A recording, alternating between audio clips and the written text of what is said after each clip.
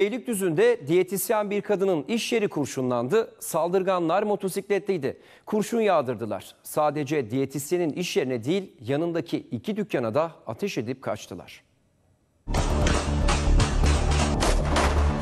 Dükkanlara ateş etmişler. tarayarak gitmişler.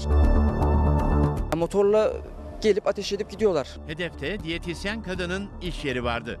Dükkanına kurşun yağdırdılar. Dert ne?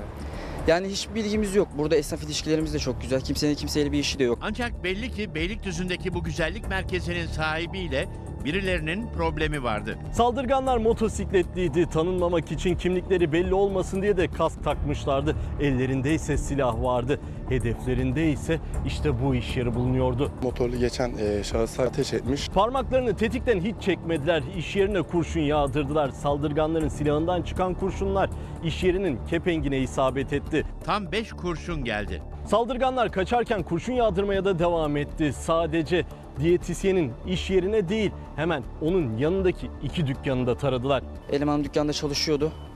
Ee, kolona da isabet ediyor. Yani bir 15 santim daha kaysaydı yani çalışanıma da gelebilirdi. Çok kötü bir badire atlattık. Saldırganlar geldikleri motosikletle kaçtı. Polis geldi, olay yerine şerit çekti, delilleri topladı. Çevredeki güvenlik kameraları incelemeye alındı.